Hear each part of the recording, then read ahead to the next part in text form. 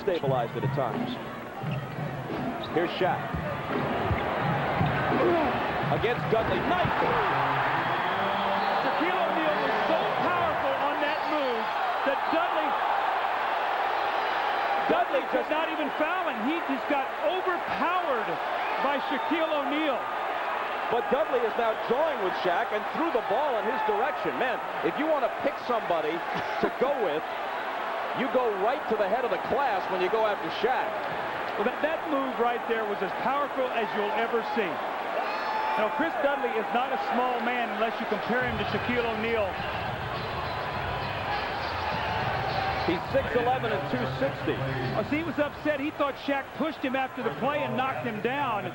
And then he picks up the ball and throws it at Shaq. I think Shaq got a tee before that. Watch this now, Bob. Watch the power. He just overpowers him, and he comes down, and then he shoves him right there. They've called the technical on Shaq on that play, and then the technical on Dudley for throwing the ball.